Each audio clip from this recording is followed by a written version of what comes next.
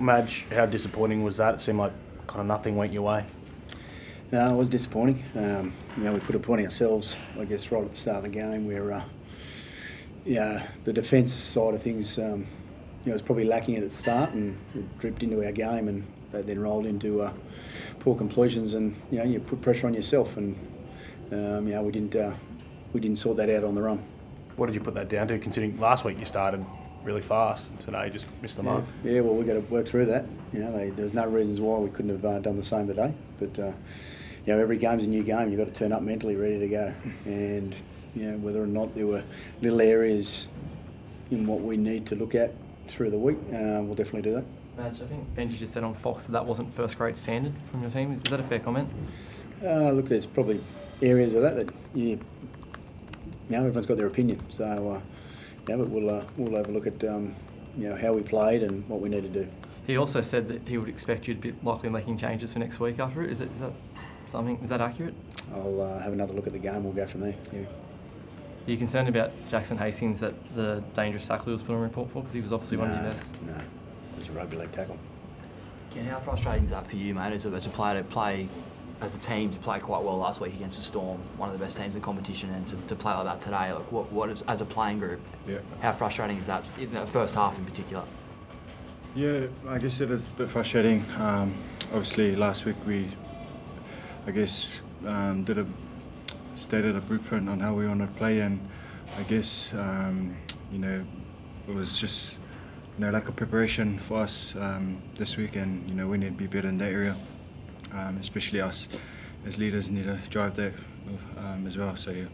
What's the most disappointing aspect for you, Madge? Is it just the uh, incompletions? Where do you, where were you looking from the box that was the most frustrating part? For uh, you? frustrating is what I know this group's capable of. To be honest, um, you know, we've shown it.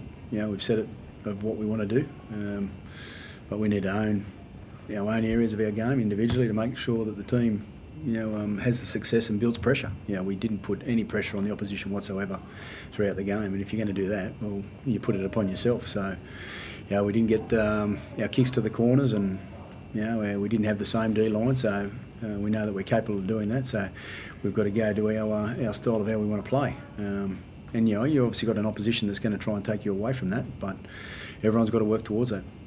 Can you said that you didn't have the sorry, you didn't have the it was just lack of preparation today. Can you explain that a bit more?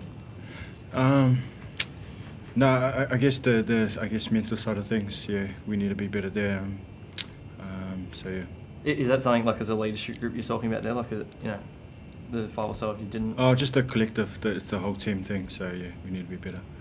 Mate, most times last year you weren't quite upset with, with the effort. Like most times you were pretty happy with it. Like the, today, do you feel any different? Do you feel like that, that side of it was, was fine from, from Oh, I think there was areas in our effort that definitely could have been better, for sure. Um, you know, and you know, you've got to turn up committed every single time you turn up to a rugby league game. Um, you know, it was disappointing uh, areas out there of, uh, from effort, but that's um, individually and as a team we need to make sure that uh, you know they're the things that you, you build within your jersey, isn't it? Yeah, the, what about the application of the game plan? Could you tell us how different it is with with new halves and, and Jake Simpkin as well, who hasn't played too much football? How different the style you guys playing? Like, and has that been difficult to, I suppose, to, to translate onto the field this year? No, not at all. I, I think yeah, I think at one stage there we're at forty percent completion. I mean, you know, to build pressure on any opposition is always difficult, but you know, you've got to be able to win that back throughout a game. Uh, our game plan is very simple, and it's um, you know the boys can execute that.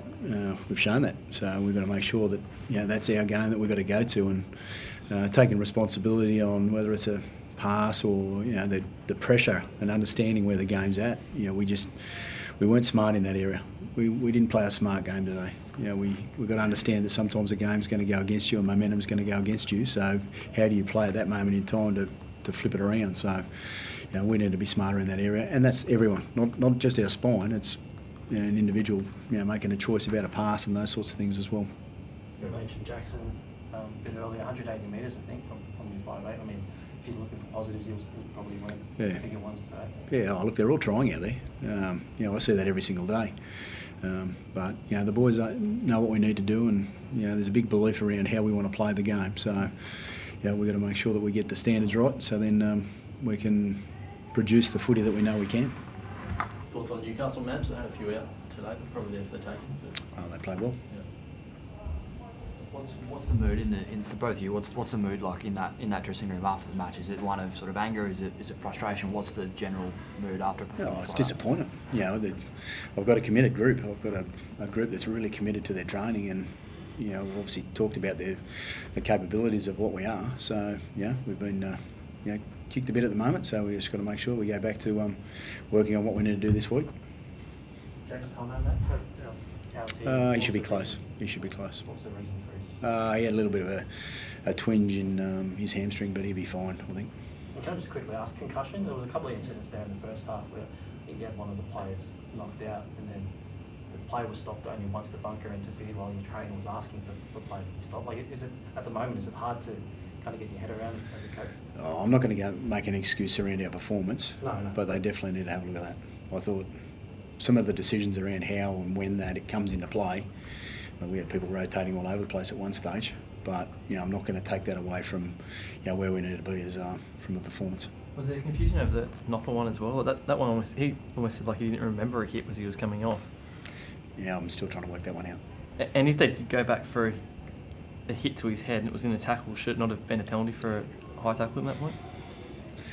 those things need to be sorted out. You know, it definitely needs to have a good look at it because you know you've got someone that's not here getting a feel for what's going on, and mate, Dave Nofoaluma said he had nothing wrong with him. So, I guess you know trying to work out what is right and wrong in that space uh, is something there the game's definitely got to get a, get a hold of. Um, yeah, I mean we had a lot of changes, but as I say, I'm not taking that away from where we need to be as a team.